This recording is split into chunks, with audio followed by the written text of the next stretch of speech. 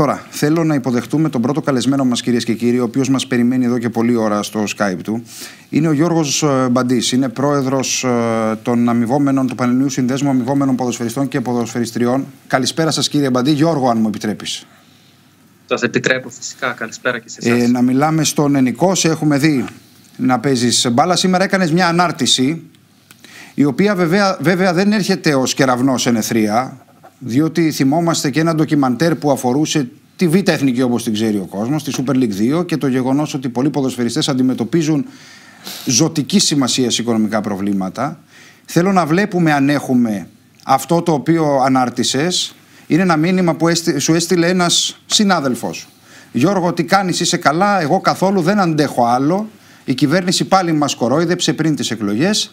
Είπαν ότι θα μας δώσουν τα λεφτά μας και μετά τίποτα. Το μυαλό μου πάει πάλι στο κακό. Συνέχεια σκέφτομαι άσχημα πράγματα. Δεν αντέχω άλλο, φοβάμαι. Είναι συγκλονιστικό αυτό το οποίο μας έστειλες. Του απάντησες εσύ ότι ε, έχεις, έχετε στείλει δύο επιστολές και έγραψες ότι δεν θα έχεις εσύ την ευθύνη, εν πάση περιπτώσει. Να δούμε παρακαλώ τον Γιώργο. Ευχαριστώ πολύ. Τι έχει συμβεί, πες μας, θέλω να καταλάβει ο κόσμος, γιατί ξέρεις, καμιά φορά κάποιοι λένε τι ασχολείστε με το ποδόσφαιρο, εδώ όμω είναι ζωές ανθρώπων, Γιώργο. Εντάξει, το ποδόσφαιρο είναι μέσα στην κοινωνία.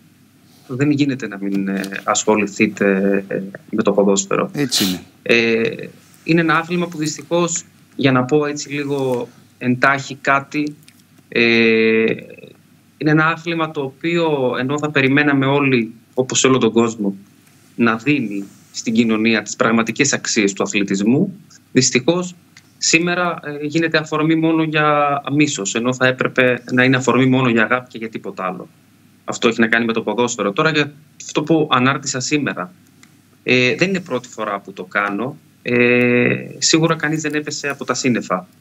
Ε, όπως είπατε και εσείς για το ντοκιμαντέρ Χάος που βγάλαμε για τη Super League 2 και για τα πολλά, δυστυχώς χιλιάδες θα έλεγα, προβλήματα βιοπορισμού των ποδοσφαιριστών όπως για τις 1500 περίπου ανεκτέλεστες αποφάσεις μέσα από, τα, από δικαστικές ε, αίθουσες που έχουν στα χέρια τους οι ποδοσφαιριστές, οι οποίοι δυστυχώς δεν μπορούν να τις εκτελέσουν πουθενά και βλέπουν τις ομάδες οι οποίες τους οφείλουν χρήματα να αγωνίζονται κανονικότατα στα, στα επαγγελματικά μας πρωταθλήματα. Γιατί δεν μπορούν να εκτελέσουν αυτές τις εντολές πληρωμής. Ε, αυτή, αυτή είναι πάρα πολύ, μια, μια πάρα πολύ καλή ερώτηση που δυστυχώς δεν μπορώ να σας την απαντήσω εγώ, δεν είμαι αρμόδιος ε, αρμόδια, είναι, αρμόδια για να απαντήσουν είναι τα θεσμικά όργανα της Ελληνικής Ποδοσφαιρικής Ομοσπονδίας. Βλέπουμε ότι οι συνάδελφοί μας ξένοι που αγωνίστηκαν στην Ελλάδα ε, πηγαίνοντας στα δικαστήρια της FIFA, γιατί εμείς ως Έλληνες δεν έχουμε το δικαίωμα να το κάνουμε, δικαιώνονται. Ενώ εμείς ε, αντίθετα δεν δικαιωνόμαστε. Κύριε Μπαντή, εσείς τι μπορείτε να κάνετε για να διεκδικήσετε το. Θα σας πω. Να πω πρώτα για αυτό το ζήτημα, γιατί αυτό το ζήτημα είναι ένας νόμος, ο 3606 του 2007, ο οποίος είναι σε ισχύ μέχρι και σήμερα. Mm-hmm. Αυτός ο νόμος τι είναι, στην ουσία το ελληνικό δημόσιο, για τους δικούς του λόγους, την εποχή τη συγκεκριμένη, πήρε την οφειλή δύο συγκεκριμένων ομάδων για να εισαχθούν στο άρθρο 44, του Άρη και του Πας Γιάννενα, στις πλάτες του. Και με ψηφισμένο νόμο, με τον νόμο Ορφανού που σας ανέφερα τότε, αποφάσισε σε τέσσερις ισόποσε δόσεις να πληρώσει αυτή την οφειλή, η οποία άγγιζε τα 4.777.000 ευρώ περίπου τώρα ε, στα νούμερα, λίγο πολύ εκεί. Όντως, η ελληνική πολιτεία ε, πλήρωσε τις πρώτες δύο δόσεις. Και μετά επικαλούμενη τα μνημόνια δεν κατήργησε τον νόμο, απλά πάγωσε τη διαδικασία. Φτάσαμε στο σήμερα ή μάλλον να μιλήσω, φτάσαμε πριν τις εκλογές, όπου εγώ είμαι πρόεδρος στο, στο Ψάπα από το 2019. Είχα θίξει από την αρχή το ζήτημα, αφού είχαν τελειώσει και τα μνημόνια, ώστε να υλοποιηθεί επιτέλους, ε, να εφαρμοστεί εξ ολοκλήρου ο νόμος που έλεγε να πληρωθούν οι τέσσερις δόσεις, άρα οι υπολοιπόμενες δύο. Και προεκλογικά ε, υπήρχαν θετικές εισηγήσεις, αφού περάσαμε όλη τη γραφειοκρατία που δυστυχώς γνωρίζετε κι εσείς τι επικρατεί στη χώρα μας. Ε, υπήρχαν θετικές εισηγήσεις και από το Υφυπουργείο Αθλητισμού, τον κύριο Αυγενάκη τότε, και από το Υφυπουργείο Οικονομικών. Και φτάσαμε στο σημείο να περιμένουμε να γίνει πίστοση από το, από το λογιστήριο του, το Γενικό Λογιστήριο του κράτους. στο, στα ταμεία της Γουγουά και κατ' και μετά στη συνέχεια στο, στο ψάπ ώστε να διανύμει ε, τα ποσά ανάλογα με την ε, οφειλή. μετά τα... ήρθαν οι εκλογές, οι διαδικασίες λίγο παγώσανε ε, και σήμερα που μιλάμε έχει γίνει συνάντηση με τον κύριο Βρούτσι, έχουν σταλεί και δύο επιστολές, δυστυχώς δεν είχαμε λάβει καμία απάντηση. Όμως σήμερα. Κινητοποιήθηκε, διαβάσαμε ο κύριος Βρούτσης, μετά το μήνυμά σας. Σήμερα, μετά την, μετά την ανάρτηση που έκανα ως όφυλα ως πρόεδρος όλων των ποδοσφαιριστών, γιατί ξέρετε, ε, ε, έχω αποδεχτεί την ευθύνη που έχω ως πρόεδρος των ποδοσφαιριστών ως ένα σημείο μέχρι εκεί που φτάνει το χέρι μου. Από εκεί και πέρα και εγώ νιώθω την υποχρέωση να μοιραστώ, γιατί δεν αντέχω να κουβαλάω αυτό το βάρος. Το να δέχομαι συνεχώς μηνύματα ότι παιδιά γιατί έχουν γίνει απόπειρες αυτοκτονίας, δυστυχώς. Ευτυχώς η συγκεκριμένη απέτυχε. Έχει γίνει απόπειρα που πέτυχε, δυστυχώς πάρα πολύ πρόσφατα επίσης από έναν ποδοσφαιριστή. είχαμε, με συγχωρείτε, είχαμε αυτοκτονία ποδοσφαιριστή δηλαδή; Φυσικά, πριν δύο έτη. Μάλιστα. Ναι. Και έχει γίνει και απόπειρα που δεν ε, αυτοκτονίας και ο συγκεκριμένος άνθρωπος που μου έστειλε το μήνυμα ε, είναι σε απελπιστική ε, κατάσταση. Του οφείλει η πολιτεία από τον νόμο που σας ανέφερα ένα πάρα πολύ μεγάλο ποσό. Και δεν είναι ο μόνος. Είναι και άλλοι οι οποίοι έχουν χάσει τα σπίτια τους. Είναι και άλλοι οι οποίοι έχουν μπλοκαριστεί οι λογαριασμοί τους γιατί δεν έχουν τη δυνατότητα να τα απεξέλθουν. Και είναι πάρα πολύ βίαιο, γιατί καλά μιλάμε για τα νομοσχέδια. Χθες ήμουν στην Επιτροπή Μορφωτικών Υποθέσεων να μιλήσω για τη βία, για το νομοσχέδιο που κατεβάζει ο κύριος Βρούτσης Ε, και καλά κάνει, γιατί έχουμε ανάγκη χρειάζεται ένα νομοσχέδιο ώστε να βελτιώσουμε τις συνθήκες ε, και για μας είναι καλό εργασία στον χώρο του αθλητισμού. Αλλά ξέρετε, η βασική αρχή για ένα νομοσχέδιο δεν είναι η ψήφισή του, είναι η εφαρμογή του.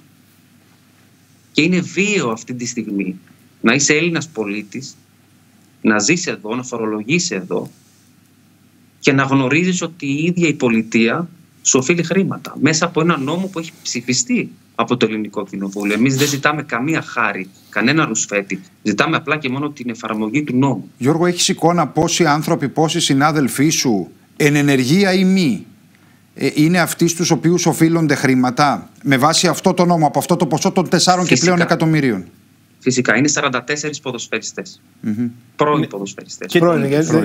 Αν είναι από το 2007, είναι προφανώς όλοι. Ναι. Τι προτίθεστε, ναι, τι θα κάνετε, τι άλλο μπορείτε να κάνετε; Ε, ο κύριος Βρούτσης κατευθείαν επικοινώνησε μαζί μου. Έχουμε κλείσει συνάντηση την Παρασκευή, όπου θα παρευρεθώ εγώ με αντιπροσωπεία ποδοσφαιριστών από εκείνη την εποχή για να δοθεί λύση. Πόσες είναι οι τελευταίες δύο δόσεις, Πόσα χρήματα είναι αυτές οι τελευταίες δύο δόσεις, Είναι τα, είναι τα μισά. Δύο εκατομμύρια δηλαδή. Ισόποσες δόσεις. Είναι κοντά στα δύο και κάτι. Ναι. Δύο κάτι. Ναι. Mm-hmm. Ε, τα μισά λεφτά δηλαδή. Ουσιαστικά. Και ξέρετε κάτι, μπορεί να σας φαίνεται μεγάλο το νούμερο για 44 ποδοσφαιριστές, αλλά δεν είναι έτσι. Ε, δεν είναι καταρχάς το νούμερο για όλους το ίδιο, έτσι. Γιατί τα συμβόλαια είναι ελεύθερη αγορά, άλλος έχει... Ναι, ε, μεγαλύτερο, άλλος μικρότερο, μεγαλύτερο, ασφαλώς. άλλος μικρότερο. Απλά οι ποδοσφαιριστές πολλές φορές, γιατί και εγώ είμαι ένας από αυτούς που έχασα τα δουλευμένα χρήματα από ομάδα γιατί άλλαξε αυτή Ξέρετε, μπορεί να ακούμε ότι ο χ ποδοσφαιριστής έχει να λαμβάνει 200.000 ευρώ παράδειγμα από τη χ ομάδα. Και λέει ένας απλός φίλο, καλά, αυτός ο παίκτης πώς τόσο αξίζει αυτό το πόσο αξίζει ε, και, και το διεκδικεί. Ξέρετε, είναι πολλές φορές εμείς όταν μας οφείλουν χρήματα από μία ποδοσφαιρική σεζόν, γιατί εμείς πάμε με σεζόν, τα μεταφέρουμε για την επόμενη. Μας χρωστάνε και για την επόμενη, τα μεταφέρουμε για τη μεθεπόμενη. Και ξέρετε, συσσωρεύεται το χρέος και μετά όταν πας και το διεκδικείς στα αρμόδια ε, δικαστήρια αναγκαστικά βγαίνει ένα ποσό που για κάποιους φαντάζει λίγο Επίσης, μεγάλο. Επίση, κύριε Μπαντή, και να κλείσουμε με αυτό, όλα τα οι, οι ποδοσφαιριστές στην Ελλάδα, ε, ακόμη και αυτοί οι οποίοι αγωνίζονται στις πιο ισχυρές ΠαΕ, αλλά πολύ περισσότερο σε μικρότερες, σε μικρότερης δυναμικής, δεν παίρνουν τα χρήματα που ενδεχομένως βλέπει ο κόσμος ότι παίρνουν ποδοσφαιριστές οι οποίοι αγωνίζονται στην Premier League ή στην La Liga ή στη, στο Ιταλικό πρωτάθλημα, έτσι. Δηλαδή ουσιαστικά βγάζουν κάποια χρήματα, θα σταματήσετε την καριέρα σας στα 35, 36, 37, 38 ε, και μετά πρέπει να εργαστείτε ή να επενδύσετε κάπου, εν πάση περιπτώσει, για να μπορέσετε να ζήσετε. Άρα είναι πράγματι ζωτικής σημασίας. Ακριβώς έτσι είναι όπως το λέτε και υπάρχει και το ανθρώπινο σκέλος της υπόθεσης ότι ένας ποδοσφαιριστής ε, μπορεί να συναντήσει διάφορες δυσκολίες στη ζωή του όπως ο κάθε άνθρωπος. Ε, δεν είναι απαραίτητα το ότι κάποιος αυτή τη στιγμή έχει ανάγκη αυτά τα χρήματα γιατί έκανε μια κακή επένδυση ή κάπου τα έχασε τα χρήματά του κάποιος έχει χρειαστεί να νοσηλευτεί σε νοσοκομείο, να, να δαπανίσει όλα τα χρήματά του σε γιατρούς. Δηλαδή, φανταστείτε και το ανθρώπινο σκέλος. Και να μην κοιτάμε μόνο τη βιτρίνα. Είναι η βιτρίνα είναι πάρα πολύ μικρή. Όχι, ιδίως στου ποδοσφαιριστέ τα πρόοπτα ε, με τους τραυματισμούς ε, είναι απανοτά. Γιώργο Μπαντή, σου, σου υπόσχομαι ότι ως εκπομπή θα το παρακολουθούμε το θέμα και θα είμαστε σε επικοινωνία. Σε ευχαριστώ πάρα πολύ για την παρέμβασή σου σήμερα εδώ. Ε, ελπίζω να είναι όλα καλά με τον Εγώ συναδελφό σου και να βρεθεί και, μια άκρη για να μπορέσει και ψυχολογικά ε, να, να επανέλθει ο άνθρωπος αυτός. Ευχαριστώ είναι, πάρα, πάρα πολύ. Είναι σημαντικό για όλους. Να είστε καλά. Σας ευχαριστώ. Καλό βράδυ. Ε, κυρίες και κύριοι, πάμε εμείς στο πρώτο μας διαφημιστικό διάλειμμα και επιστρέφουμε σε λίγο.